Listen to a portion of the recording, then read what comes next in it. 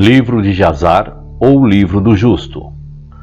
Isto não está escrito no livro de Jazar? Josué capítulo 10, verso 13. Eis que está escrito no livro de Jazar. 2 Samuel capítulo 1, verso 18. E disse Deus: Façamos o homem à nossa imagem conforme a nossa semelhança, e criou Deus o homem à sua própria imagem. E formou Deus o homem da terra e soprou em suas narinas o fôlego de vida, e o homem se tornou alma vivente, dotado de fala. E disse o Senhor: Não é bom para o homem estar só. Far-lhe-ei uma ajudadora. E o Senhor fez um profundo sono cair sobre Adão, e ele dormiu, e tirou uma de suas costelas, e construiu carne sobre ela, e formou-a e trouxe-a a Adão, e despertou Adão de seu sono, e eis que uma mulher estava em pé diante dele. E ele disse: Esta é o osso de meus ossos, e será chamada mulher, pois esta foi tirada do homem, e Adão chamou o seu nome Eva, pois ela foi a mãe de todos os viventes. E Deus abençoou e chamou os seus nomes Adão e Eva, no dia em que ele os criou, e disse o Senhor Deus: Sede frutíferos e multiplicai-vos e enchei a terra. E o Senhor Deus tomou Adão e sua mulher e pô-los no jardim do Éden para lavrá-los e guardá-lo, e ordenou-lhes e disse-lhes: De toda árvore do jardim comereis, mas da árvore do conhecimento do bem e do mal não comereis, porque no dia em que dela comerdes, certamente morrereis. E quando Deus os abençoou e lhes ordenou, retirou-se deles, e Adão e sua mulher habitaram no jardim de acordo com o mandamento que o Senhor lhes havia ordenado. E a serpente que Deus havia criado com eles na terra veio até eles para incitá-los a transgredirem o mandamento de Deus que lhes tinha ordenado. E a serpente seduziu e persuadiu a mulher a comer da árvore do conhecimento, e a mulher ouviu a voz da serpente e ela transgrediu a palavra de Deus e tomou da árvore do conhecimento do bem e do mal e comeu, e tirou dela e deu também a seu marido, e ele comeu. E Adão e sua mulher transgrediram o mandamento de Deus que lhes ordenou, e Deus soube disso, e sua ira se acendeu contra eles e os amaldiçoou. E o Senhor Deus os tirou naquele dia do jardim do Éden para lavrarem a terra da qual eles foram tirados e foram habitar no leste do jardim do Éden. E Adão conheceu sua mulher Eva, e ela deu à luz a dois filhos e três filhas. E ela chamou o nome do primogênito Caim, dizendo: Obtive um varão do Senhor, e o nome do outro ela chamou Abel, pois ela disse: na vaidade viemos para a terra, e na vaidade seremos tirados dela. E os meninos cresceram, e seu pai lhes deu posse na terra. E Caim foi lavrador da terra, e Abel guardador de ovelhas. E foi no fim de poucos anos que eles trouxeram uma oferta de aproximação ao Senhor, e Caim trouxe do fruto da terra, e Abel também trouxe dos primogênitos das suas ovelhas, de sua gordura. E Deus se voltou e inclinou-se para Abel e sua oferta, e um fogo desceu do Senhor do céu e a consumiu. E para Caim e sua oferta, o Senhor não se voltou e não se inclinou para ele, pois ele trouxe do fruto inferior da terra perante o Senhor. E Caim ficou invejoso contra seu irmão Abel por causa disto, e ele buscava um pretexto para matá-lo. Em algum tempo depois, Caim e Abel, seu irmão, foram um dia ao campo para fazerem o seu trabalho, e ambos estavam no campo, Caim lavrando e arando a sua terra, e Abel alimentando o seu rebanho. E o rebanho passou para aquela parte que Caim tinha arado na terra, e Caim ficou muito triste por causa disso. E Caim se aproximou do seu irmão Abel com ira e disse-lhe: O que há entre mim e ti, para vires habitar e trazer o teu rebanho para alimentar na minha terra? E Abel respondeu a seu irmão Caim e disse-lhe: O que há entre mim e ti para comeres a carne do meu rebanho e vestir-te com a sua lã? E agora, pois, tira a lã de minhas ovelhas com a qual tens te vestido, e me recompensa por seu fruto e carne que tens comido, e quando tiveres feito isto, então sairei da tua terra, como disseste. E Caim disse a seu irmão Abel: Certamente, se eu te matar hoje, quem vai requerer o teu sangue de mim? E Abel respondeu a Caim, dizendo: Certamente Deus, que nos tem feito na terra, ele vingará a minha causa e requererá meu sangue de ti. Deverias tu matar-me, porque o Senhor é o juiz e árbitro, e é ele que irá retribuir ao homem segundo o seu mal, e o homem mal de acordo com as maldades que possa fazer na terra. E agora, se me matares aqui, com certeza Deus conhece tuas visões secretas e te julgará pelo mal que declaraste fazer para mim hoje. E quando Caim ouviu as palavras que seu irmão Abel havia falado, eis que a ira de Caim se acendeu contra seu irmão Abel por declarar isto.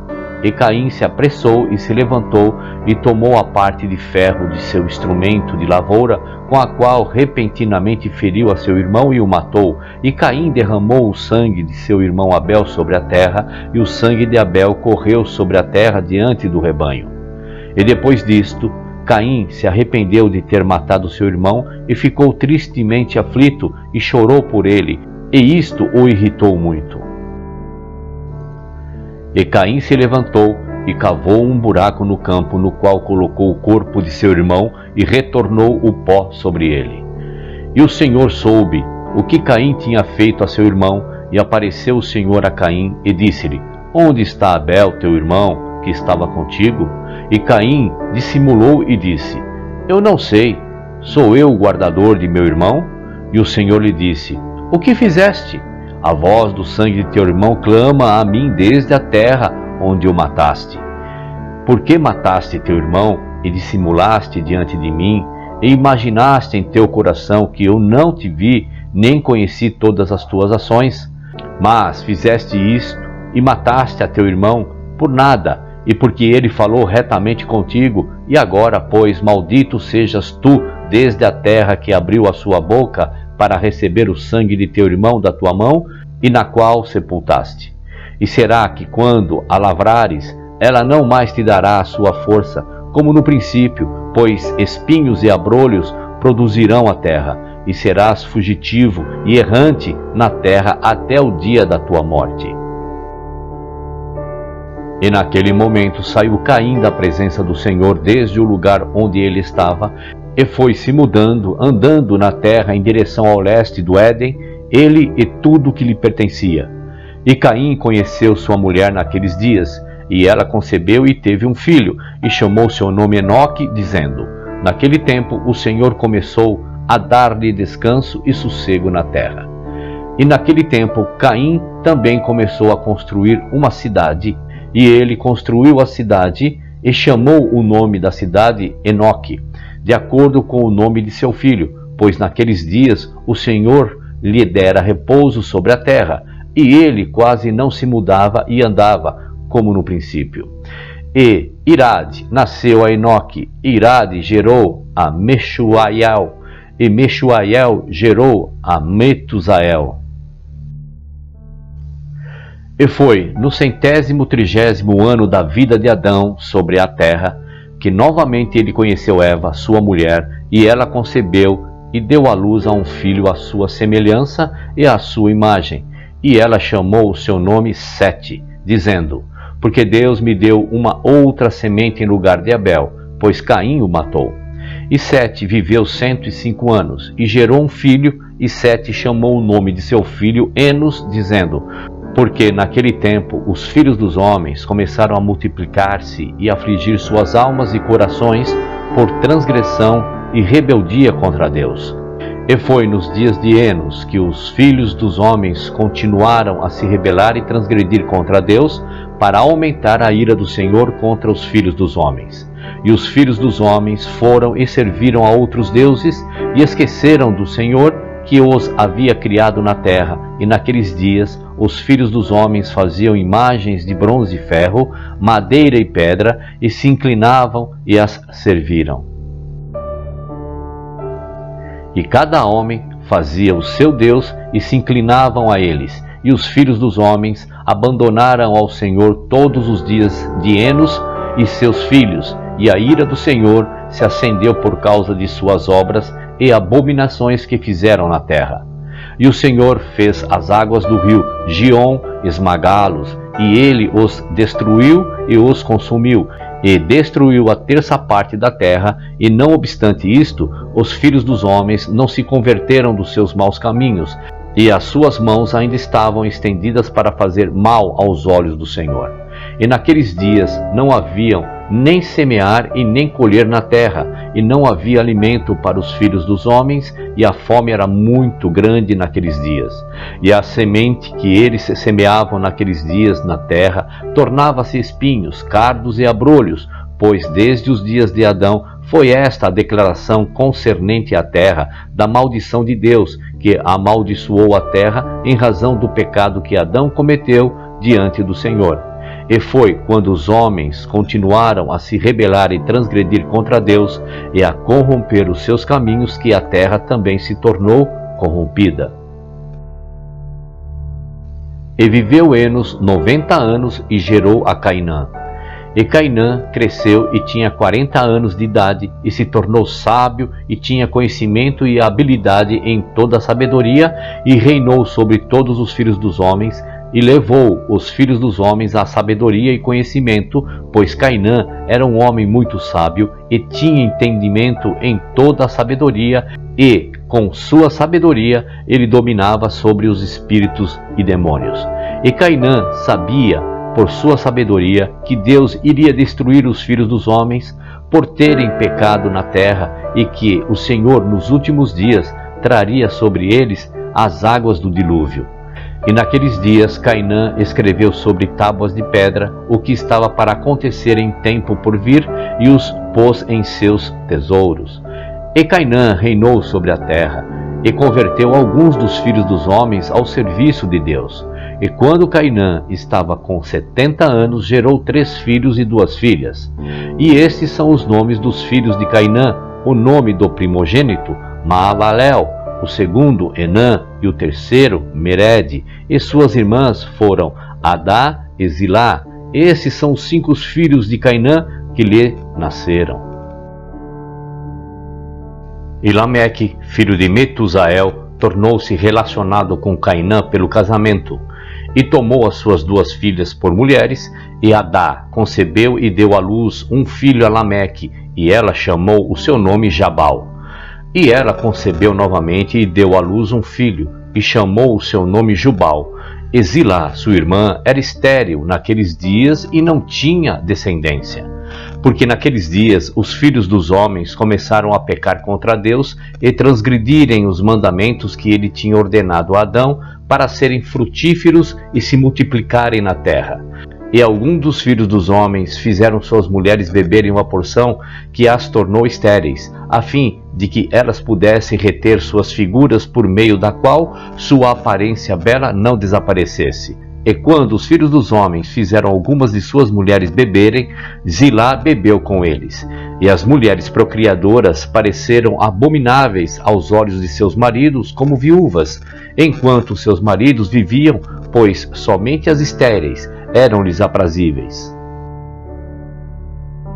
E no fim dos dias e anos, quando Zilá ficou velha, o Senhor abriu seu ventre, e ela concebeu e deu à luz um filho e chamou seu nome Tubal-Caim, dizendo: Depois que eu havia murchada, obtive-o do Deus Todo-Poderoso. E ela concebeu novamente e deu à luz uma filha, e chamou seu nome Naamá, Pois ela disse: Depois que eu havia murchada, obtive prazer e deleite. E Lameque era velho e avançado em anos, e seus olhos se escureceram, que ele não podia ver. E Tubal Caim, seu filho, o estava guiando, e foi um dia que Lameque entrou no campo e Tubal Caim, seu filho estava com ele, e enquanto estavam andando no campo, Caim, filho de Adão, avançou em direção a eles, pois Lameque estava muito velho e não conseguia ver muito. Etubal Caim, seu filho, era muito jovem. Etubal Caim disse a seu pai para armar seu arco, e com as flechas ele feriu Caim, que ainda estava longe, e o matou, pois ele lhes apareceu ser um animal. E as flechas entraram no corpo de Caim, embora ele estivesse distante deles, e ele caiu ao chão e morreu. E o Senhor pagou o mal a Caim, conforme a sua maldade que ele havia feito a seu irmão Abel, segundo a palavra do Senhor que havia falado.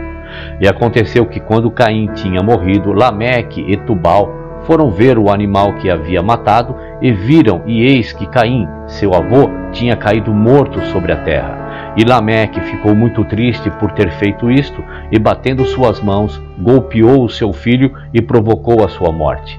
E as mulheres de Lameque ouviram o que Lameque tinha feito e procuraram matá-lo. E as mulheres de Lameque o odiaram desde aquele dia, porque ele matou Caim e Tubal Caim, e as mulheres de Lameque se separaram dele e não lhe deram ouvidos naqueles dias. E Lameque veio às suas mulheres e insistiu com elas para ouvi-lo sobre este assunto.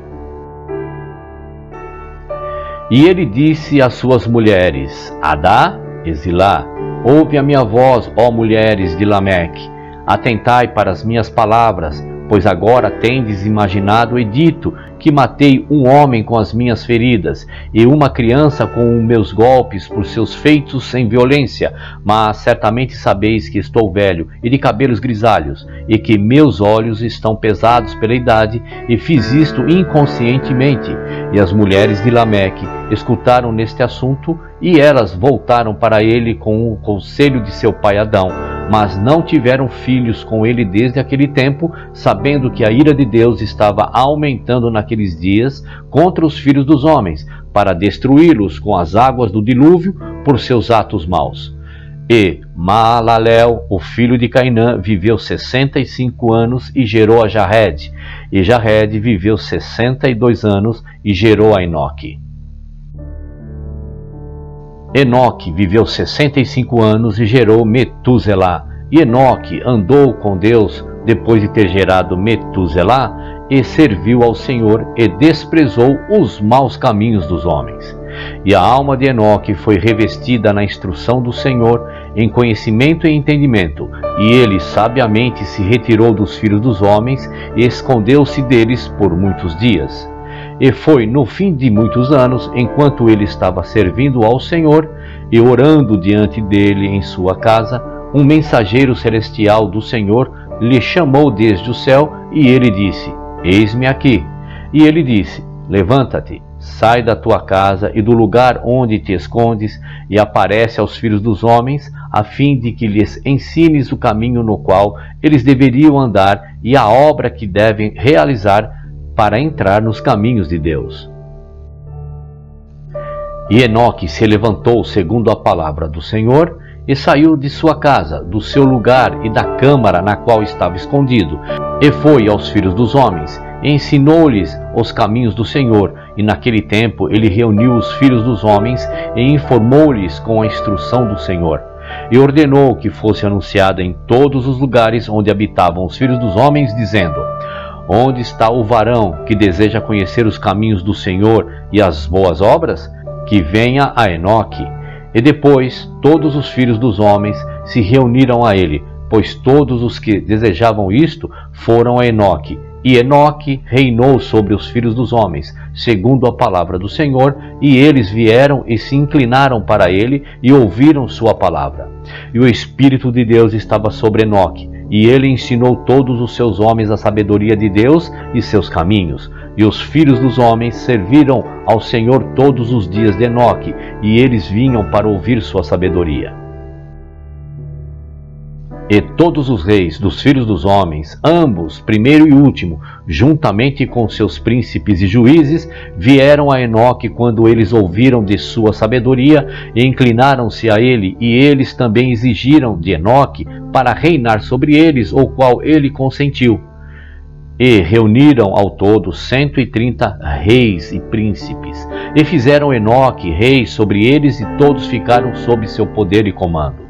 E Enoque lhes ensinou a sabedoria, conhecimento e os caminhos do Senhor, e fez a paz entre eles, e a paz estava por toda a terra durante a vida de Enoque. E Enoque reinou sobre os filhos dos homens duzentos e quarenta e três anos, e fez justiça e retidão com todo o seu povo, e os conduziu nos caminhos do Senhor.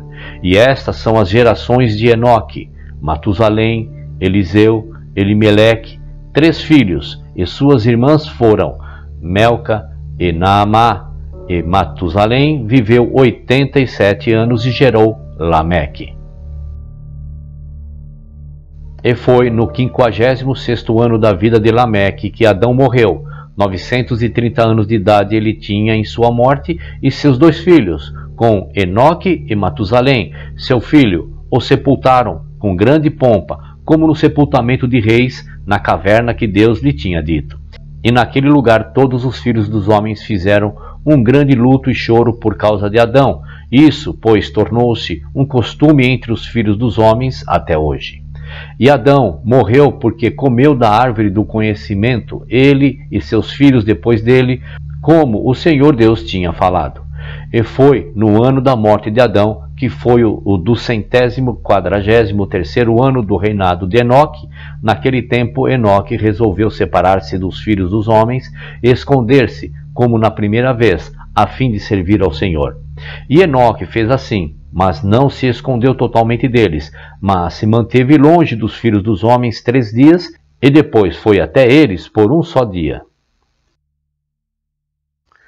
E, durante os três dias que estava em sua câmara, orou e louvou o Senhor seu Deus, e no dia em que ele foi e apareceu para os seus súditos, ensinou-lhes os caminhos do Senhor e tudo o que lhes perguntaram sobre o Senhor, ele lhes disse. E fez desta maneira durante muitos anos, e depois escondeu-se durante seis dias, e apareceu ao seu povo um só dia em sete.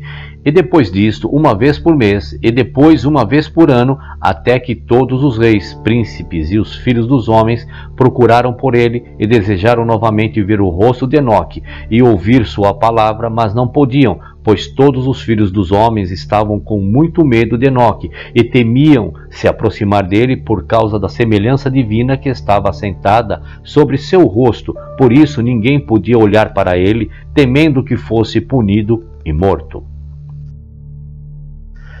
E todos os reis e príncipes resolveram reunir os filhos dos homens e virem a Enoque, pensando que todos pudessem falar com ele no momento em que ele deveria surgir entre eles, e assim fizeram. E chegou o dia quando Enoque saiu, e eles todos se reuniram e viram a ele. Enoque falou-lhes as palavras do Senhor, e ensinou-lhes a sabedoria e conhecimento, e prostrados diante dele, disseram: Que o rei viva, que o rei viva.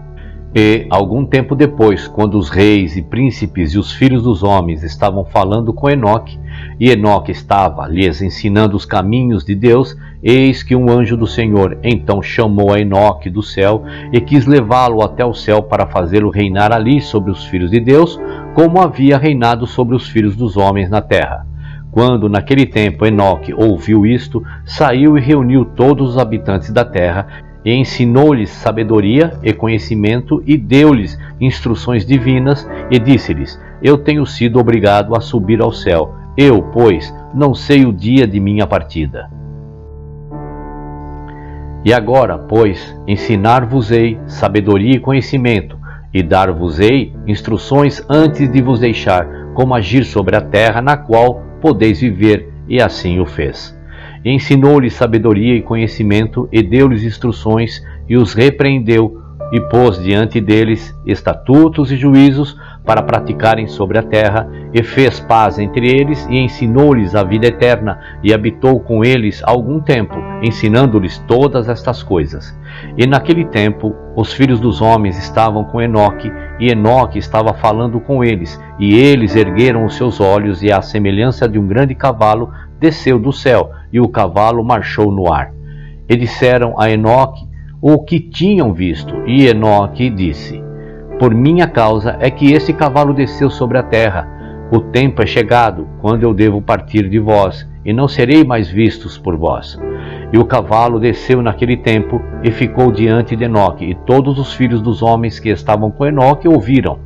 E Enoque então novamente ordenou uma voz a ser proclamada, dizendo: Onde está o varão que se deleita a conhecer os caminhos do Senhor, seu Deus, que venha hoje a Enoque, antes que ele seja tirado de nós? E todos os filhos dos homens se reuniram e vieram a Enoque naquele dia, E todos os reis da terra, com os seus príncipes e os conselheiros, permaneceram com ele aquele dia. E então Enoque ensinou aos filhos dos homens sabedoria e conhecimento, e deu-lhes instrução divina, e mandou-os servir ao Senhor e andar nos seus caminhos todos os dias de suas vidas, e continuou a fazer parte entre eles. E foi depois disto que ele se levantou e montou sobre o cavalo, e saiu e todos os filhos dos homens foram atrás dele, cerca de oitocentos mil homens, e eles foram com ele uma jornada de dia. E no segundo dia ele lhes disse: Voltai para as vossas tendas, porque ides? Talvez podeis morrer. E alguns deles saíram dele, e aqueles que permaneceram foram com ele jornada de seis dias. E Enoque dizia-lhes todos os dias: Voltai para as vossas tendas, para que não morrais mas eles não estavam dispostos a voltar e foram com ele. E no sexto dia, alguns dos homens permaneceram e agarraram-se a ele e disseram-lhe: Havemos de ir contigo para o lugar onde vais. Como vive o Senhor, só a morte nos separará. E eles insistiram tanto para irem com ele que ele cessou de falar com eles, e eles foram atrás dele e não voltaram. E quando os reis retornaram, fizeram um censo a ser tomado, a fim de saberem o número dos homens restantes que estavam com Enoque. E foi no sétimo dia que Enoque subiu ao céu num redemoinho com cavalos e carruagens de fogo.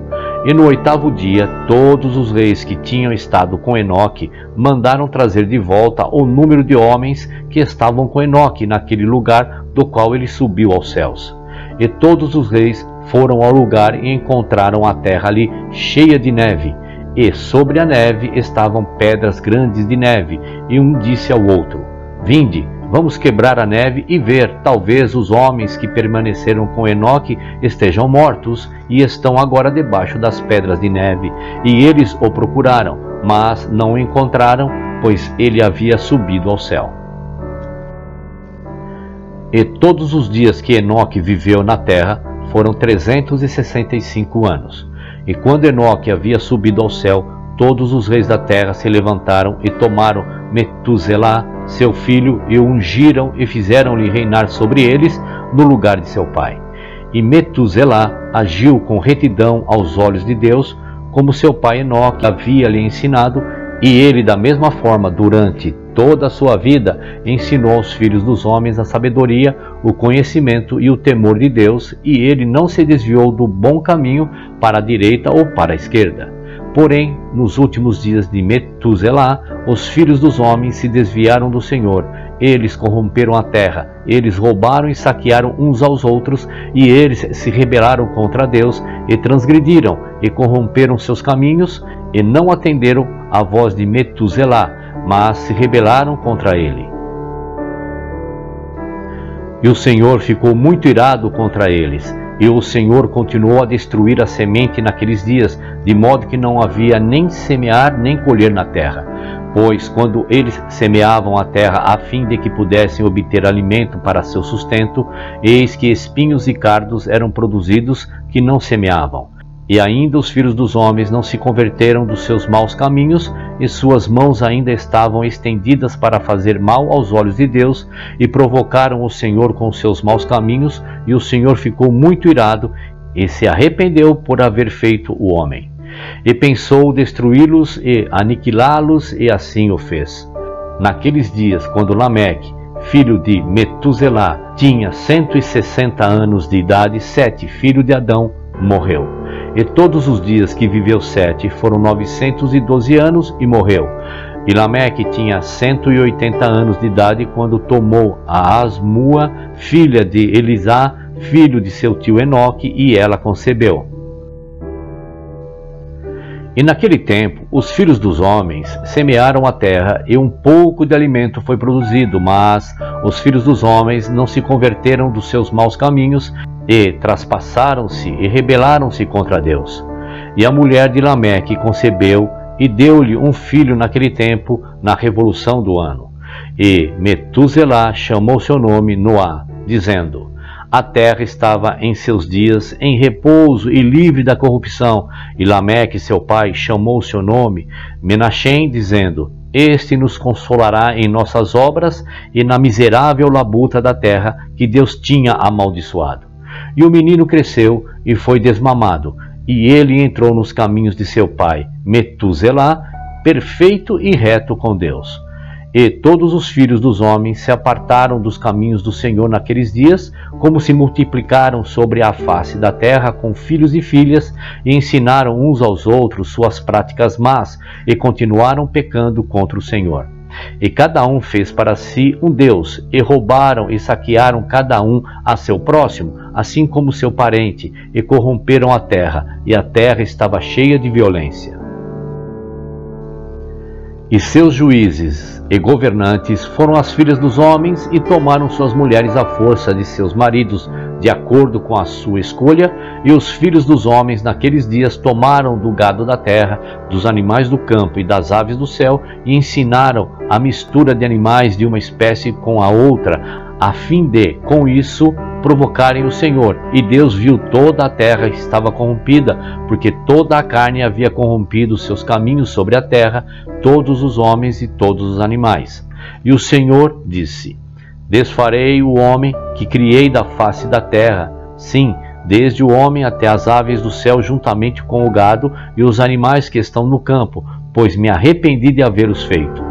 E todos os homens que andaram nos caminhos do Senhor morreram naqueles dias antes que o Senhor trouxesse o mal sobre o homem que ele tinha declarado, pois isto era do Senhor, para que eles não vissem o mal que o Senhor falou dos filhos dos homens. E Noá achou graça aos olhos do Senhor, e o Senhor escolheu a ele e seus filhos para suscitar semente deles sobre a face de toda a terra.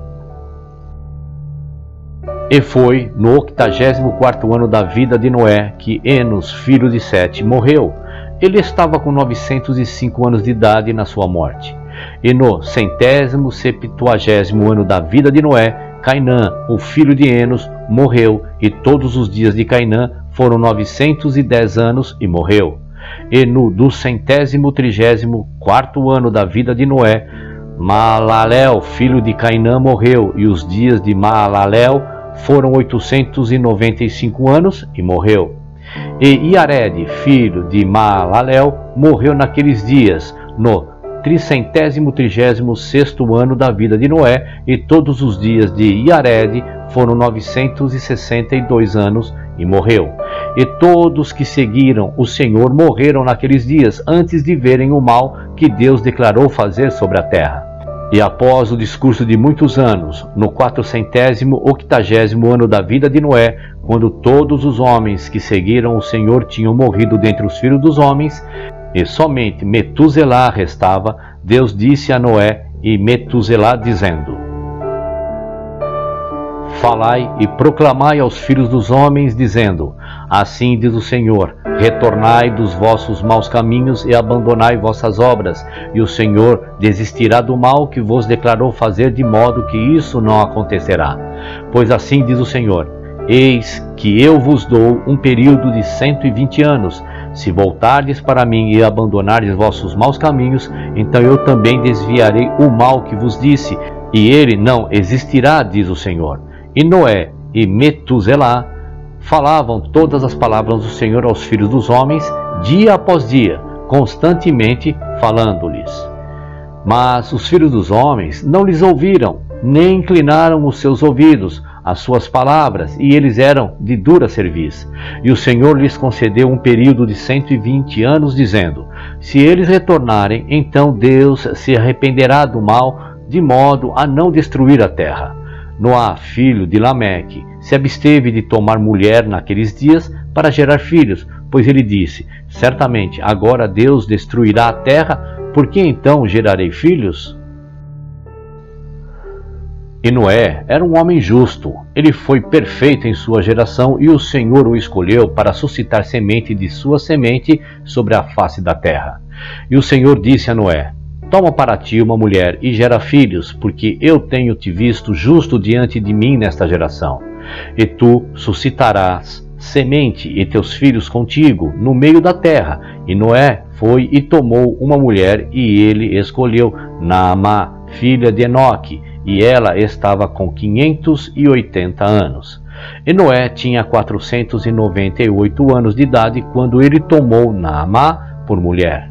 E Naamá concebeu e deu à luz a um filho, e ele chamou o seu nome Iafete, dizendo: Deus tem me aumentado na terra. E ela concebeu novamente e teve um filho. E ele chamou o seu nome de Shem, dizendo: Deus me tem feito um remanescente para suscitar semente no meio da terra.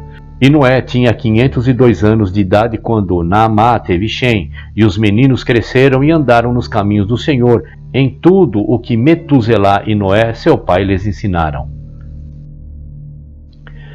E Lameque, pai de Noé, morreu naqueles dias, mas na verdade ele não foi com todo o seu coração nos caminhos de seu pai, e ele morreu no centésimo nonagésimo quinto ano da vida de Noá.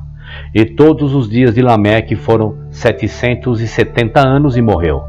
E todos os filhos dos homens que conheciam o Senhor morreram naquele ano, antes do Senhor trazer o mal sobre eles, pois o Senhor desejou-lhes a morte, de modo a não contemplarem o mal que Deus traria sobre seus irmãos e parentes, como ele tinha assim declarado fazer.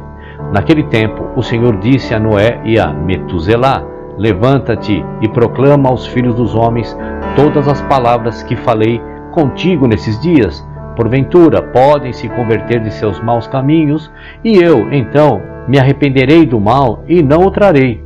E Noé e Metuselá ficaram de pé e disseram aos ouvidos dos filhos dos homens tudo o que Deus havia falado a respeito deles. Mas os filhos dos homens não escutaram, nem inclinaram seus ouvidos a todas as suas declarações. E foi depois disto que o Senhor disse a Noé: o fim de toda a carne é chegado perante mim por causa de suas más obras, e eis que eu vou destruir a terra. E tu toma para ti madeira de gofer, e vai a um determinado lugar e fazer uma grande arca, e coloca-a nesse ponto. E assim a farás, de trezentos côvados o seu comprimento, de cinquenta côvados de largura, e trinta côvados de altura e farás para ti uma porta aberta ao seu lado, e por um côvado acabarás para cima, e a cobrirás por dentro e por fora com betume. E eis que trarei dilúvio de águas sobre a terra, e toda a carne será destruída de debaixo do céu, tudo o que está sobre a terra perecerá. E tu e a tua casa ireis e ajuntareis dois casais de todos os seres vivos, macho e fêmea, e os trareis para a arca para levantar semente deles sobre a terra. E ajunta para ti todo o alimento que é comido por todos os animais, para que ali sejam alimento para ti e para eles. E tu escolherás para teus filhos três donzelas das filhas dos homens, e elas serão mulheres para teus filhos e Noé levantou-se e fez a arca no lugar onde Deus lhe havia ordenado, e Noé fez como Deus lhe ordenara. Em seu quingentésimo nonagésimo quinto ano, Noé começou a fazer a arca, e ele fez a arca em cinco anos, como o Senhor tinha ordenado. Então Noé tomou a três filhas de Eliaquim, filho de Metuselá, por mulheres para seus filhos, como o Senhor lhes ordenara. E foi naquele tempo que Metuselá, filho de Enoque, morreu. 960 anos de idade tinha ele na sua morte. Naquele tempo, depois da morte de Metuselá, disse o Senhor a Noé: Entra tu com tua casa na arca, eis que eu reúno para ti todos os animais da terra, os animais do campo e as aves do céu, e todos eles virão e cercarão a arca. E tu irás e te assentarás junto às portas da arca, e todas as bestas, os animais e as aves se reunirão e se colocarão diante de ti, e tais deles virão e se agacharão diante de ti. Pegarás e entregarás nas mãos dos teus filhos, que os trarão para a arca, e todos que ficarem de pé diante de ti deixarás. E o Senhor trouxe isto quase no dia seguinte. As bestas, os animais e as aves vieram em grande quantidade e cercaram a arca. E Noé entrou e sentou-se junto à porta da arca. E de toda a carne que se agachou diante dele, ele trouxe para dentro da arca, e todos que ficaram de pé diante dele, ele deixou na terra. E veio uma leoa com seus dois filhotes, macho e fêmea, e os três se agacharam diante de Noé, e os dois filhotes se levantaram contra a leoa e a feriram, e a fizeram fugir de seu lugar. E ela foi embora, e eles retornaram aos seus lugares e se agacharam sobre a terra diante de Noé. E a leoa fugiu e se pôs de pé no lugar dos leões. E Noé viu isto e se maravilhou grandemente, e ele se levantou e levou os dois filhotes e os trouxe para dentro da arca. E Noé trouxe para dentro da arca de todas as criaturas viventes que estavam sobre a terra, de modo que nenhum foi deixado, mas Noé trouxe para a arca. Dois e dois vieram a Noé para a arca, mas dos animais limpos e aves limpas, ele trouxe sete casais, como Deus lhe havia ordenado. E todos os animais e feras e aves ainda estavam lá, e cercaram a arca em cada lugar, e a chuva ainda não tinha descido até sete dias depois. E naquele dia o Senhor fez toda a terra tremer, o sol escureceu e a fundação do mundo se enfureceu, e toda a terra foi movida violentamente, e os relâmpagos brilharam, os trovões rugiam, e todas as fontes na terra foram quebradas, tal como não era conhecido pelos habitantes antes, e Deus fez este ato poderoso a fim de aterrorizar os filhos dos homens, para que não mais houvesse mal sobre a terra. E ainda os filhos dos homens não voltaram dos seus maus caminhos, e eles aumentaram a ira do Senhor naquele tempo, e não dirigiram seus corações para tudo isto. E ao fim dos sete dias, no seis centésimo ano da vida de Noé, as águas do dilúvio vieram sobre a terra, e todas as fontes do abismo se romperam, e as janelas dos céus foram abertas, e houve chuva sobre a terra quarenta dias e quarenta noites. E Noé e sua casa e todas as criaturas viventes que estavam com ele entraram na arca por causa das águas do dilúvio, e o Senhor a fechou dentro. E todos os filhos dos homens que foram deixados sobre a terra tornaram-se exaustos com o mal por causa da chuva, pois as águas estavam vindo mais violentamente sobre a terra, e os animais e as feras ainda estavam ao redor da arca. E os filhos dos homens se reuniram juntamente, cerca de setecentos mil homens e mulheres, e vieram para Noé na arca. E chamaram a Noé, dizendo: Abra-nos para que possamos ir ter contigo na arca, porque morreremos. E Noé, com uma grande voz, respondeu-lhes da arca, dizendo: Não tendes todos se rebelado contra o Senhor e dissestes que ele não existe? E por isso o Senhor trouxe sobre vós este mal, para destruir-vos e eliminar-vos da face da terra. Não é isto que vos falei de cento e vinte anos para trás, e não quiseste ouvir a voz do Senhor, e agora desejais viver sobre a terra? Eles disseram a Noé: Estamos prontos para voltar para o Senhor, somente abre-nos para que vivamos e não morramos. E Noé lhes respondeu, dizendo: Eis que agora que vedes os problemas de vossas almas, desejais voltar para o Senhor. Por que não voltaste durante estes cento e vinte anos que o Senhor vos concedeu como período determinado? Mas agora vindes e dizei-me isto por causa dos problemas de vossas almas. Agora também o Senhor não vos ouvirá, nem vos dará ouvidos hoje, para que agora não tenhais sucesso em vossos desejos. E os filhos dos homens se aproximaram a fim de invadirem a arca para entrarem por causa da chuva, pois não podiam suportar a chuva sobre eles. E o Senhor enviou todas as feras e os animais que estavam em volta da arca. E as feras os atacaram e os expulsaram daquele lugar, e cada um seguia o seu caminho, e eles novamente dispersaram sobre a face da terra.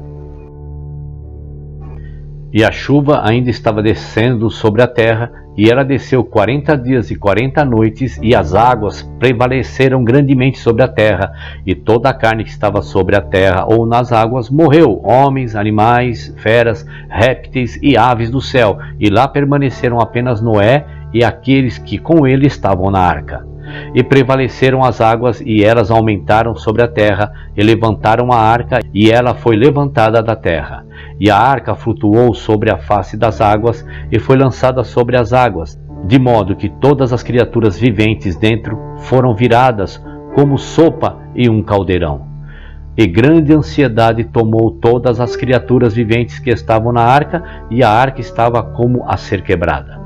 E todas as criaturas viventes que estavam na arca ficaram aterrorizadas, e os leões rugiam, e os bois mugiam, e os lobos uivavam, e toda criatura vivente na arca falou e lamentou em sua própria língua, de modo que suas vozes alcançaram a uma grande distância, e Noé e seus filhos gritaram e choraram em seus problemas, pois eles ficaram com muito medo que eles tivessem alcançado os portões da morte. E Noé orou ao Senhor e clamou a ele por causa disto, e ele disse: O Senhor nos ajude, pois não temos força para suportar este mal que nos abrangeu, pois as ondas das águas nos cercaram, torrentes malévolas nos aterrorizaram, os laços da morte vieram diante de nós. Responde-nos, ó Senhor, responde-nos, ilumina teu rosto para nós e seja gracioso conosco, nos redima e nos liberta. E o Senhor ouviu a voz de Noé, e o Senhor lembrou-se dele. E um vento passou sobre a terra, e as águas se foram, e a arca pousou. E as fontes do abismo e as janelas do céu foram interrompidas, e a chuva do céu foi contida. E as águas diminuíram naqueles dias, e a arca pousou sobre as montanhas de Ararat. E Noé então abriu as janelas da arca, e Noé ainda clamou ao Senhor naquele momento e disse: Ó Senhor, tu que formaste a terra e os céus e tudo que neles há, tira as nossas almas desse confinamento e da prisão em que tu nos colocaste, porque estou muito cansado de suspirar. E o Senhor ouviu a voz de Noé e disse-lhe: Quando, embora tiverem completado um ano inteiro, tu então sairás adiante e a revolução do ano, quando um ano inteiro foi completado da habitação de Noé na arca, as águas se secaram de sobre a terra, e Noé pôs fora a cobertura da arca. Naquele tempo, no vigésimo sétimo dia do segundo mês, a terra estava seca, mas Noé e seus filhos e aqueles que estavam com ele não saíram da arca até que o Senhor lhes disse. E chegou o dia que o Senhor lhes disse para sair, e todos eles saíram da arca. E eles saíram e voltaram, cada um ao seu caminho e ao seu lugar. E Noé e seus filhos habitaram na terra que Deus lhe havia dito e serviram ao Senhor todos os dias. E o Senhor abençoou Noé e seus filhos em suas saídas da arca. E ele lhes disse: Sede frutíferos e enchei toda a terra, tornai-vos fortes e crescei abundantemente na terra e multiplicai-vos nela. E esses são os nomes dos filhos de Noá: Yafet, Ram, Shem, e os filhos que lhes nasceram depois do dilúvio, pois eles haviam tomado mulheres antes do dilúvio. Esses são os filhos de Yafet: Gomer, Magô, Madai, Javã, Tubal, Machek e Tiras, sete filhos. E os filhos de Gomer foram Askinaz, Refate e Tagarmá. E os filhos de Magó foram Elishanaf, Elubal. E os filhos de Madai foram Achon, Zeelo, Shazone, Eló. E os filhos de Javã foram Elisha, Tarshish, Shitim e Dudonim. E os filhos de Tubal foram Arif, Kezed e Tari. E os filhos de Meshed foram Dedom, Zaron e Shabashim. E os filhos de Tiras foram Beni, Gerá, Lupirion e Gilac. Esses são os filhos de Afet, segundo as suas famílias, e seus números naqueles dias eram cerca de 460 homens. E esses são os filhos de Ram, Cushi, Metzraim, Fut e Canaã. Quatro filhos, e os filhos de Cushi foram Seba, Avilá, Sebta, Ramá, Satechá, e os filhos de Ramá foram Sheba e Dedã. E os filhos de Metzraim foram Lud, Anon, Epartos, e e Shaptor. E os filhos de Futz eram Jebu, Adã, Bená e Adã. E os filhos de Canaã foram Zidon, Et, Amori, Gergash, Riv, Arque, Seni, Arodi, Zemodi e Chamoti. Estes são os filhos de Ram, segundo as suas famílias, e seus números naqueles dias eram cerca de 730 homens. Esses são os filhos de Shem, Elan, Ashur, Aparshahad, Lud, Aram. Cinco filhos e os filhos de Elan foram Shushan, Mashu e Armon. E os filhos de Arshur foram Miruz e Moquil, e os filhos de Arpachat foram Shelash, Anar e Ascol. E os filhos de Lud foram Petor e Bizaion, e os filhos de Arã foram Uz, Shu, Gather e Mash. Esses são os filhos de Shem, segundo as suas famílias e seus números naqueles dias. Eram cerca de trezentos homens. Essas são as gerações de Shem. Shem gerou a Aparshad, e a Aparshad gerou a Shelash. E Shelash gerou a Eber, e a Eber nasceram dois filhos, e o nome de um foi Peleg, porque nos seus dias os filhos de homem foram divididos, e nos últimos dias a terra foi dividida. E o nome do segundo foi Yoktan, significando que no seu dia as vidas dos filhos dos homens foram diminuídas e diminuiu. Esses são os filhos de Yoktan, Almodad, Shelaf, Shezarmovet, Yerash, Yaduron, Ozel, Dikla, Obal, Abimael, Sheba, Ofir, Avilá e Jobab. Todos esses são os filhos de Yoktan. E seu irmão Pelec gerou Ien, Ien gerou a Serug, e Serug gerou a Naor, e Naor gerou a Terá. E Terá tinha 38 anos de idade e gerou a Arã e a Naor. E Cush, filho de Arã, filho de Noá, tomou uma mulher naqueles dias em sua velhice, e ela teve um filho, e ele chamou o seu nome Nimrod, dizendo: Naquele tempo, os filhos dos homens novamente começaram a se rebelar e transgredir contra Deus, e o menino cresceu, e seu pai o amava muito, pois ele era filho de sua velhice. E as vestes de pele que Deus fez para Adão e sua mulher, quando eles saíram do jardim, foram dadas a Cuxi. Pois depois da morte de Adão e sua mulher, as vestes foram dadas a Enoque, filho de Jared, e quando Enoque foi arrebatado para Deus, deu-lhes a Matuzelá, seu filho. E com a morte de Metuzelá, Noá tomou-as e as trouxe para a arca, e ficaram com ele até que ele saiu da arca. E em sua saída, Ram furtou aquelas vestes de Noá, seu pai, e ele as tomou e a escondeu de seus irmãos. E quando Ram gerou seu primogênito Cuxi, deu-lhes as vestes em segredo, e elas ficaram com Cuxi muitos dias. E Cuxi também as escondeu de seus filhos e irmãos. E quando Cuxi gerou a Nimrod, deu-lhe aquelas vestes por seu amor por ele, e Nimrod cresceu, e quando tinha vinte anos, ele vestiu aquelas vestes. E Nimrod se tornou forte quando vestiu as vestes, e Deus lhe deu poder e força, e ele foi um caçador poderoso na terra. Sim, ele foi um caçador poderoso no campo, e ele caçou os animais edificou altares, e sobre eles ofereceu os animais diante do Senhor. E Nimrod se fortaleceu, e ele se levantou dentre os seus irmãos, e lutou as batalhas de seus irmãos contra todos os seus inimigos ao redor. E o Senhor entregou todos os inimigos de seus irmãos em suas mãos, e Deus o fez prosperar ao longo do tempo em suas batalhas, e ele reinou sobre a terra.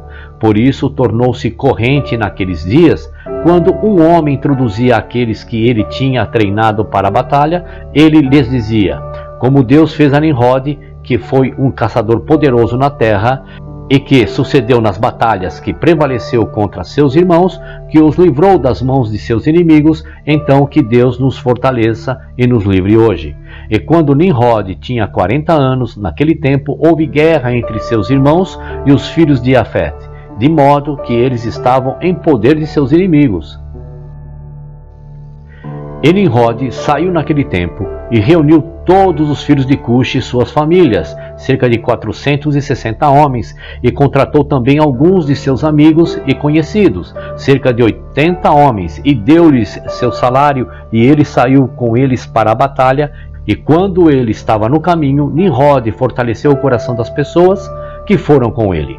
E ele lhes disse: Não temais, nem vos assusteis, pois todos os nossos inimigos serão entregues em nossas mãos, e podeis fazer com eles como vos agradar. E todos os homens que saíram eram cerca de quinhentos, e lutaram contra seus inimigos, e os destruíram, e os subjugaram. E Nimrod colocou oficiais sobre eles em seus respectivos lugares. E tomou algum de seus filhos como segurança, e todos eles foram servos de Nimrod e de seus irmãos, e Nimrod e todas as pessoas que estavam com ele voltaram para casa. E quando Nimrod tinha alegremente retornado da batalha após ter conquistado seus inimigos, todos os seus irmãos, juntamente com aqueles que o conheciam antes, reuniram-se para o fazer rei sobre eles, e eles colocaram a coroa real sobre a sua cabeça e pôs sobre os seus súditos e o povo príncipes, juízes e governantes, como é o costume entre os reis. E ele colocou Terá, filho de Naor, príncipe do seu exército, e ele o dignificou e o levou acima de todos os seus príncipes. E enquanto ele estava reinando de acordo com o desejo do seu coração, após ter conquistado todos os seus inimigos ao redor, tomou conselho com seus conselheiros para construir uma cidade para o seu palácio, e assim eles fizeram. E eles encontraram um vale grande de frente para o leste, e construíram-lhe uma cidade grande e extensa. E Nimrod chamou o nome da cidade que ele construiu Shinar, pois o Senhor havia veementemente sacudido seus inimigos e os destruiu.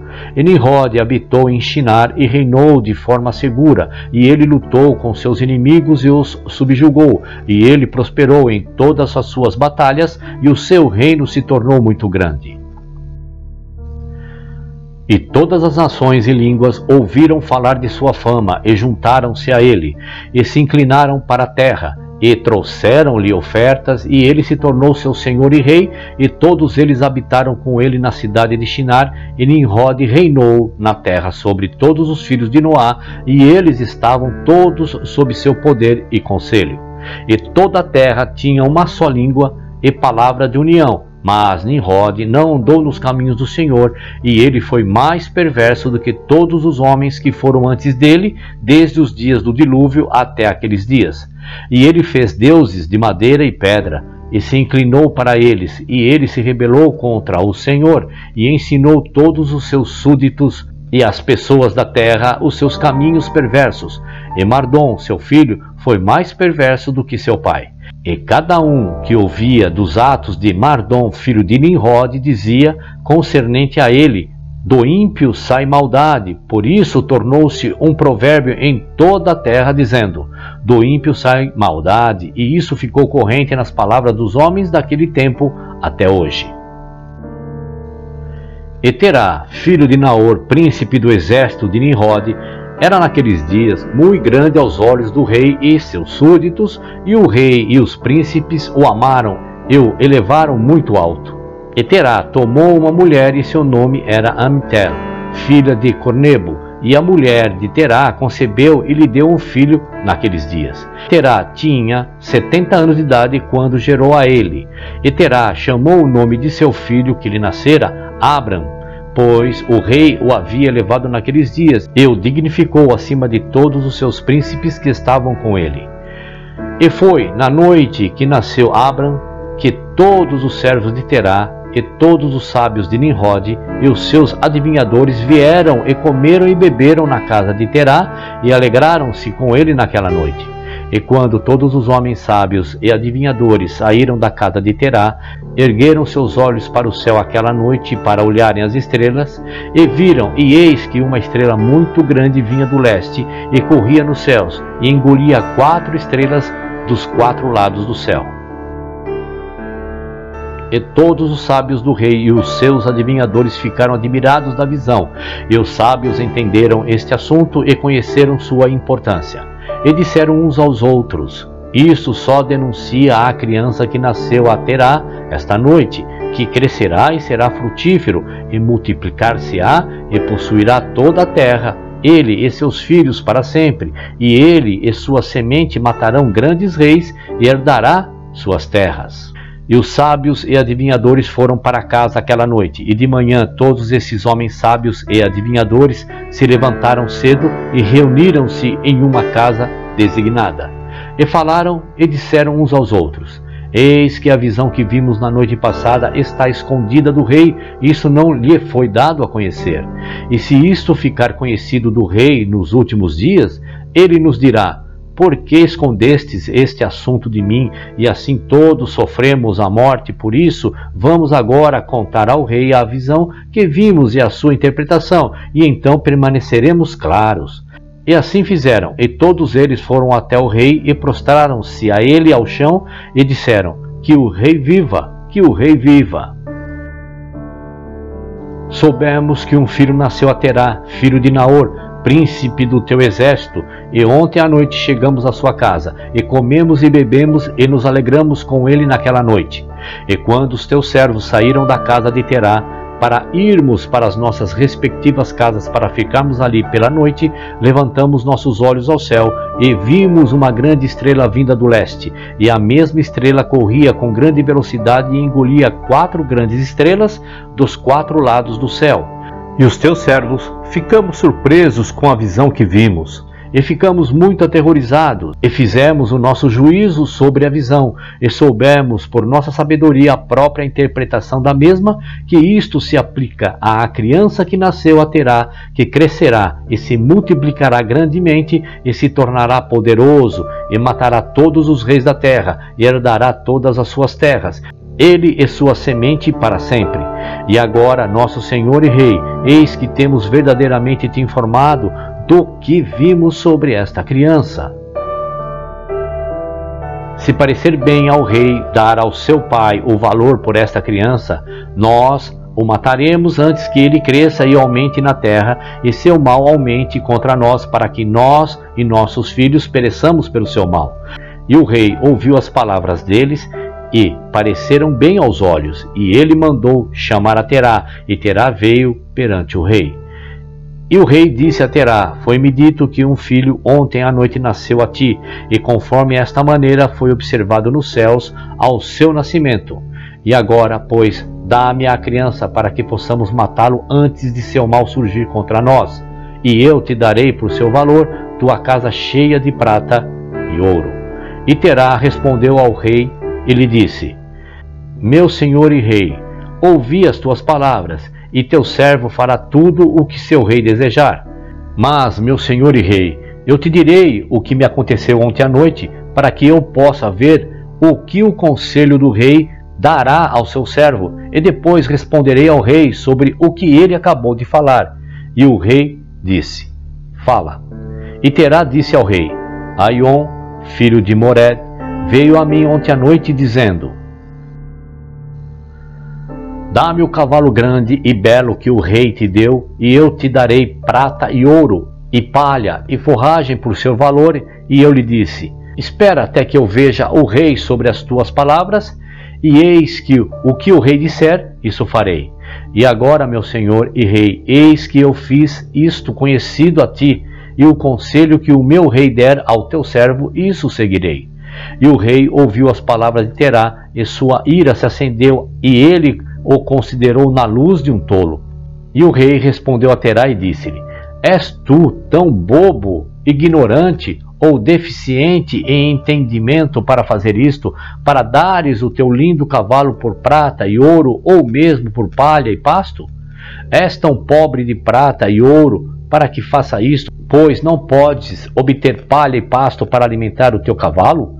E o que é prata e ouro para ti, ou palha e pasto, para que tu des esse belo cavalo que te dei, como que não haja nada para ser possuído em toda a terra? E o rei parou de falar, e Terá respondeu ao rei, dizendo: Semelhante a isto, o rei falou ao seu servo: Rogo-te, meu senhor e rei, o que isto que disseste a mim, dizendo: Dá-me teu filho para que o matemos e te darei prata e ouro por seu valor. O que devo fazer com prata e ouro depois da morte de meu filho? Quem me herdará? Com certeza da minha morte e prata e o ouro voltarão para o meu rei que o deu. E quando o rei ouviu as palavras de Terá e a parábola que ele trouxe acerca do rei, pesou-lhe muito e ele ficou incomodado com isto e sua ira ardeu dentro dele. E Terá viu que a ira do rei se acendeu contra ele e respondeu ao rei, dizendo: Tudo o que eu tenho está em poder do rei. Seja o que o rei desejar fazer ao seu servo, que o faça. Sim, até meu filho, ele está no poder do rei. Sem valor em troca, ele e seus dois irmãos que são mais velhos do que ele. E o rei disse a Terá: Não, mas vou comprar o teu filho mais novo por um preço. E Terá respondeu ao rei, dizendo: Rogo-te, meu senhor e rei, de deixar teu servo falar uma palavra diante de ti, e que o rei ouça a palavra do teu servo. E Terá disse: que meu rei dê-me tempo de três dias, até que eu considere esta questão dentro de mim e consulte com minha família sobre as palavras do meu rei. E ele insistiu com o rei muito para concordar com isso. E o rei deu ouvidos a Terá, e ele assim fez, e deu-lhe tempo de três dias. E Terá saiu da presença do rei e foi para casa à sua família, e falou-lhes todas as palavras do rei, e as pessoas ficaram muito com medo. E foi no terceiro dia que o rei enviou a Terá, dizendo: Envia-me o teu filho por um preço que eu te falei, e se tu não fizeres isto, mandarei matar todos os que tens em tua casa, de modo que tu não terás nem mesmo um cão restante. E Terá se apressou, como a coisa era urgente do rei, e ele tomou uma criança de um de seus servos, que a sua serva tinha gerado para ele naquele dia, e Terá levou a criança para o rei e recebeu o valor por ele. E o Senhor estava com Terá neste negócio, para que Nimrod não causasse a morte de Abrão. E o rei tomou o filho de Terá e com toda a sua força bateu sua cabeça no chão, pois pensava que tinha sido Abrão, e isto foi ocultado dele desde aquele dia e foi esquecido pelo rei, como era a vontade da providência não causar a morte de Abrão. E Terá tomou Abrão, seu filho, secretamente, juntamente com sua mãe e ama, e os escondeu em uma caverna, e os levava suas provisões mensais. E o Senhor estava com Abraão na caverna, e ele cresceu, e Abraão ficou na caverna dez anos, e o rei e os seus príncipes, os profetas e sábios, pensaram que o rei tinha matado Abraão. E Arã, filho de Terá, irmão mais velho de Abraão, tomou uma mulher naqueles dias.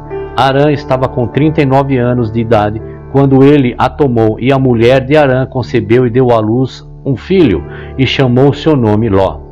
E ela concebeu novamente e deu à luz a uma filha, e ela chamou seu nome Milca. E ela concebeu novamente e deu à luz uma filha, e ela chamou seu nome Sarai.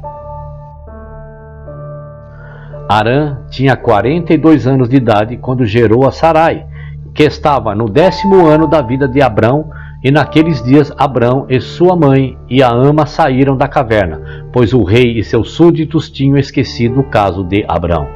E quando Abrão saiu da caverna, foi a Noá e seus filhos Shem, e ele permaneceu com eles para aprender a instrução do Senhor e seus caminhos. E ninguém soube onde estava Abrão, e Abrão serviu a Noá e Shem, seu filho, por muito tempo. Abrão ficou na casa de Noá 39 anos. E Abrão conheceu ao Senhor desde três anos, e andou nos caminhos do Senhor até o dia da sua morte, como Noá e seu filho Shem lhe havia ensinado, e todos os filhos da terra naqueles dias transgrediram contra o Senhor. E eles se rebelaram contra ele e serviram a outros deuses, e se esqueceram do Senhor que os havia criado na terra, e os habitantes da terra fizeram para si mesmos, naquele tempo, cada um ao seu Deus, deuses de madeira e pedra, que não podiam nem falar, ouvir, nem livrar, e os filhos dos homens os serviram, e eles se tornaram seus deuses. E o rei e todos os seus servos, e Terá com toda a sua casa, foram então os primeiros daqueles que serviram deuses de madeira e pedra. E Terá tinha doze deuses de tamanho grande, feitos de madeira e pedra, conforme os doze meses do ano, e ele servia cada um mensalmente. A todo mês Terá trazia sua oferta de cereais e libação para os seus deuses. Assim fazia Terá todos os dias. E toda aquela geração foi perversa aos olhos do Senhor, e eles assim fizeram cada um seu Deus, mas desprezaram o Senhor que os havia criado. E naqueles dias não foi achado homem em toda a terra que conhecesse ao Senhor, pois eles serviam cada um o seu próprio Deus, exceto Noá, e sua casa, e todos aqueles que estavam sob seu conselho conheciam o Senhor naqueles dias. E Abrão, filho de Terá, estava se fortalecendo muito naqueles dias na casa de Noá, e ninguém sabia disso, e o Senhor estava com ele. E o Senhor deu a Abrão um coração compreensivo, e ele sabia que todas as obras daquela geração eram vãs, e que todos os seus deuses eram vãos e de nada valiam. E Abrão viu o sol brilhando sobre a terra, e Abrão disse consigo mesmo: Certamente agora este sol que brilha sobre a terra é Deus, e a ele servirei. E Abrão serviu o sol naquele dia e orou a ele, e, quando a noite chegou, o pôr do sol, como de costume, e Abrão disse dentro de si mesmo: Certamente isso não pode ser Deus? E Abrão ainda continuou a falar dentro de si: quem é aquele que fez os céus e a terra? Quem criou sobre a terra? Onde está ele? E a noite escureceu sobre ele, e ele levantou seus olhos em direção ao oeste, norte, sul e leste, e ele viu que o sol tinha desaparecido da terra e o dia se tornou escuro. E Abrão viu as estrelas e a lua diante dele, e ele disse: Certamente este é o Deus que criou toda a terra, assim como o homem, e eis que estes servos são deuses ao redor dele. E Abrão serviu a lua e orou a ela toda aquela noite. E de manhã, quando já estava claro e o sol brilhava sobre a terra, como de costume, Abrão viu todas as coisas que o Senhor Deus tinha feito sobre a terra. E disse Abrão consigo mesmo: Certamente esses não são deuses que fizeram a terra e toda a humanidade, mas esses são os servos de Deus. E Abraão permaneceu na casa de Noá e ali conheceu o Senhor e seus caminhos. E ele serviu ao Senhor todos os dias de sua vida. E toda aquela geração esqueceu o Senhor e serviram a outros deuses de madeira e pedra e se rebelaram todos os seus dias. E o rei Nimrod reinou com segurança, e toda a terra estava sob seu controle, e toda a terra era de uma só língua e palavra de união. E todos os príncipes de Nimrod e seus grandes homens tomaram conselhos juntos.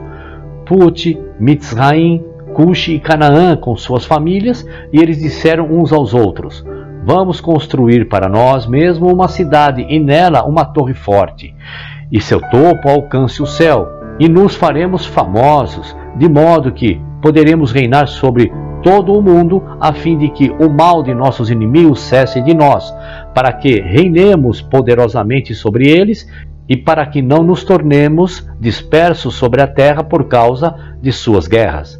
E todos eles foram diante do rei e disseram ao rei estas palavras, e o rei concordou com eles neste assunto, e assim ele fez.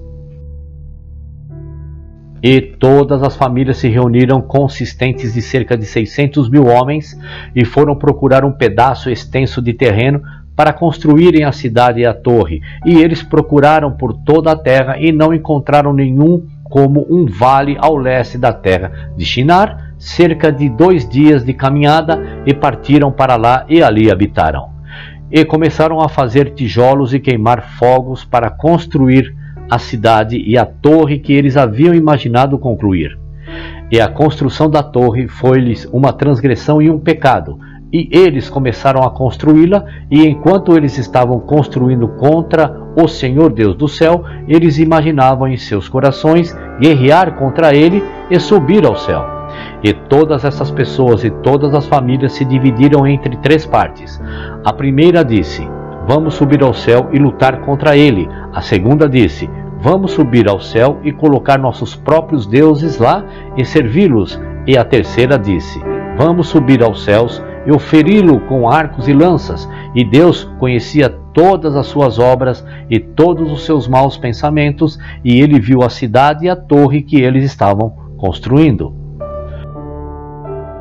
E quando eles estavam construindo, eles mesmos construíram uma grande cidade e uma torre muito alta e forte, e por causa de sua altura, a argamassa e os tijolos não alcançavam os construtores em sua ascensão a ela, até que os que subiram houvessem completado um ano, e, depois disso, chegavam aos construtores e davam-lhes a argamassa e os tijolos, assim era feito diariamente.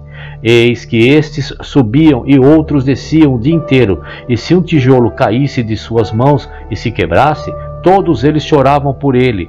E se um homem caísse e morresse, nenhum deles olhava para ele. E o Senhor conhecia os seus pensamentos, e aconteceu que, quando eles estavam construindo, lançavam flechas para o céu.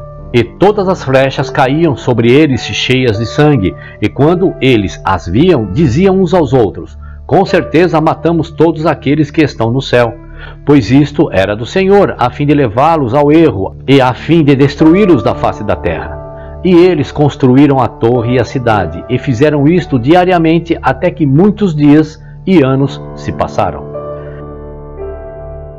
E Deus disse aos setenta anjos que estavam de pé diante dele, aos que estavam perto dele, dizendo: Vinde, desçamos e confundamos suas línguas, para que ninguém entenda a linguagem do seu vizinho. E assim lhes fizeram. E daquele dia em diante eles se esqueceram cada um a língua de seu vizinho, e eles não podiam entender falar em uma só língua. E quando o construtor tomava das mãos de seu vizinho argamassa ou pedra que ele não ordenava, o construtor o lançava fora e a jogava sobre o seu vizinho para que ele morresse. E fizeram tantos dias e mataram muitos deles dessa maneira. E o Senhor feriu as três divisões que estavam ali, e ele os puniu segundo as suas obras e desígnios, aqueles que disseram: Vamos subir aos céus e servir os nossos deuses. Tornaram-se como macacos e elefantes, e aqueles que disseram: Vamos ferir os céus com flechas. O Senhor os matou, um homem pela mão do seu vizinho, e a terceira divisão daqueles que disseram: Vamos subir aos céus e lutar contra ele o Senhor os espalhou por toda a terra. E aqueles que restaram dentre eles, quando souberam e entenderam o mal que vinha sobre eles, abandonaram a construção e também tornaram-se dispersos sobre a face de toda a terra. E cessaram de construir a cidade e a torre. Por isso ele chamou aquele lugar Babel, porque ali o Senhor confundiu a linguagem de toda a terra. Eis que isso foi ao leste da terra de Shinar. E quanto à torre que os filhos dos homens edificaram, a terra abriu sua boca e engoliu uma terça parte dela, e também um fogo desceu do céu e queimou um outro terço. E o outro terço foi deixado para hoje, e é daquela parte que estava no alto, e sua circunferência é três dias de caminhada. E muitos dos filhos dos homens morreram naquela torre, um povo sem número. E Peleg, filho de Eber, morreu naqueles dias, no ano 48 da vida de Abrão, filho de Terá, e todos os dias de Peleg foram 239 anos. E quando o Senhor dispersou os filhos dos homens por causa de seus pecados na torre, eis que se espalharam em muitas divisões, e todos os filhos dos homens foram dispersos aos quatro cantos da terra. E todas as famílias tornaram-se cada uma segundo a sua língua, sua terra e sua cidade. E os filhos dos homens construíram muitas cidades, segundo as suas famílias, em todos os lugares onde eles foram e por toda a terra onde o Senhor os tinha espalhado. E alguns deles construíram cidades em lugares de onde depois foram extirpados e chamaram estas cidades conforme seus próprios nomes, ou os nomes de seus filhos, ou conforme suas ocorrências particulares. E os filhos de Jafé, filho de Noé, foram e construíram-lhes cidades nos lugares onde eles se espalharam, e chamaram todas as suas cidades conforme seus nomes, e os filhos de Jafé foram divididos sobre a face da terra em muitas divisões e línguas. E estes são os filhos de Jafé segundo as suas famílias: Gomer, Magó, Medai, Javã, Tubal, Meshé e Tiras. Estes são os filhos de Jafé, segundo as suas gerações. E os filhos de Gomer, de acordo com as suas cidades, foram os Francum, que habitam na terra de Franza, junto ao rio Franza, junto ao rio Sená. E os filhos de Refate, Bartonim, são os Bartonim, que habitam na terra de Bartonia, junto ao rio Ledá, que desemboca suas águas no grande mar Gion, ou seja, oceano.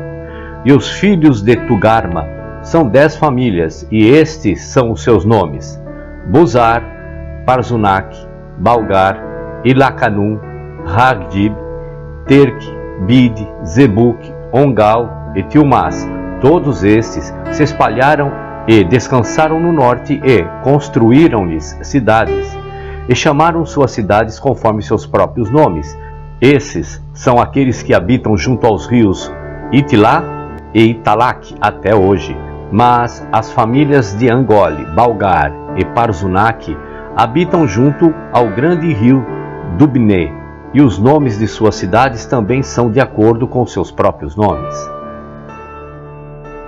E os filhos de Javã são os Javanim, que habitam na terra de Macedonia, e os filhos de Medaiare são os Orelum, que habitam na terra de Curson, e os filhos de Tubal são os que habitam na terra de Tucná, junto ao rio Paxiá. E os filhos de Mexé são os Shibashim, e os filhos de Tiras são os Rushash, Cushni e Angoles. Todos esses foram e construíram-lhe cidades. Essas são as cidades que estão situadas junto ao mar Jabus, junto ao rio Cura, que se desemboca no rio Tragã. E os filhos de Elisa são os Almanim, e eles também foram e construíram-lhes cidades. Essas são as cidades situadas entre as montanhas de Job e Shibatmo, e deles foram os povos de Lombardi, que habitam do lado oposto das montanhas de Job e Shabatmo, e eles conquistaram a terra da Itália e lá permaneceram até hoje. E os filhos de Chitim são os Romim, que habitam no vale de Conopia, junto ao rio Tibreu. E os filhos de Dudonim são aqueles que habitam nas cidades do Mar Gion, na terra de Bordina. Estas são as famílias dos filhos de Jafé, de acordo com as suas cidades e línguas, quando foram espalhados após a torre, e chamaram suas cidades conforme seus nomes e acontecimentos. E estes são os nomes de todas as suas cidades, de acordo com as suas famílias, que construíram naqueles dias após a torre. E os filhos de Ram foram Cush, Metzraim, Fut e Canaã, de acordo com a sua geração e cidades. Todos estes foram e construíram-lhe cidades como lugares considerados próprios para eles, e chamaram suas cidades conforme os nomes de seus pais, Cushi, Metzraim, Putz e Canaã. E os filhos de Metzraim são os Ludim, Anamim, Leabim, Naptushim, Patsursim, Kalushim e Kafuturim, sete famílias. Todos estes habitam junto ao rio Sior, Nilo, que é o ribeiro do Egito, e eles construíram-lhes cidades e as chamaram conforme seus próprios nomes.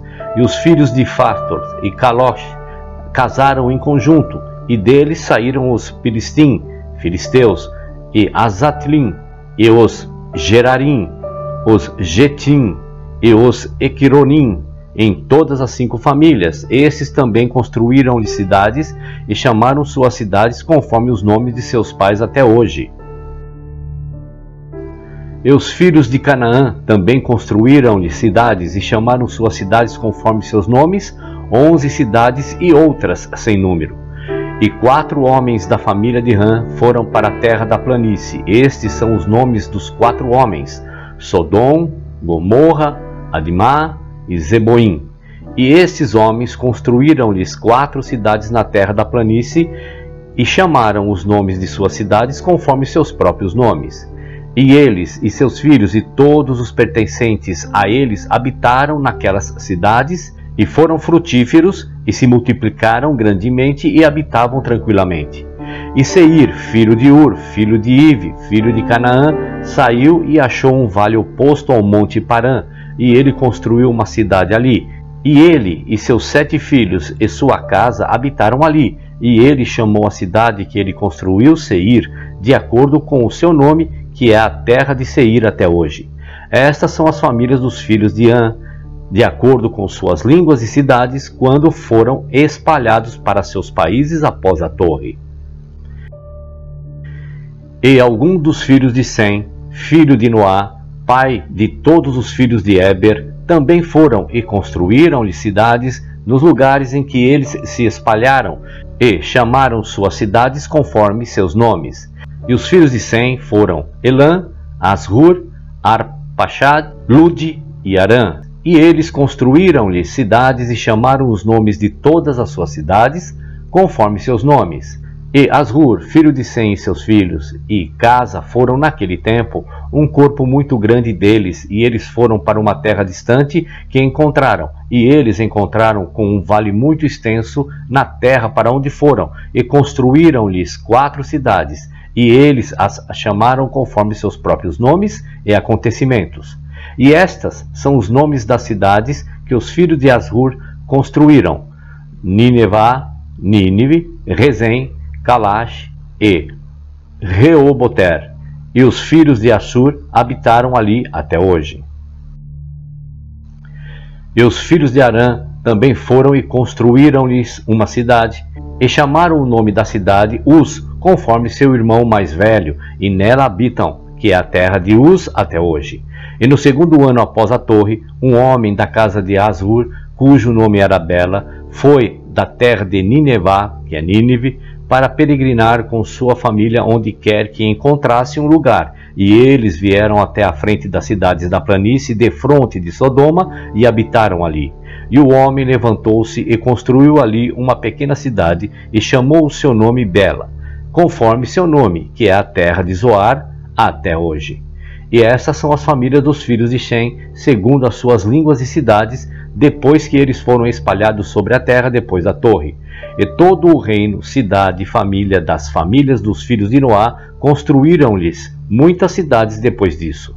E eles estabeleceram governos em todas as suas cidades, a fim de serem reguladas por suas ordens. Assim fizeram todas as famílias dos filhos de Noá para sempre.